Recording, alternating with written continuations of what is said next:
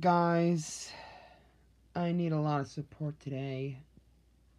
I've been seeing the scenery of Cosmic Kid about Papa Jesus' death.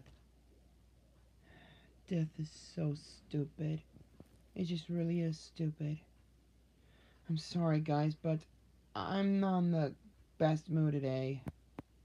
I'm just feeling sad about myself. I- I'll be alright. Unless I have all support I need. So please, I need all of the support from you guys. I need it all. Very badly.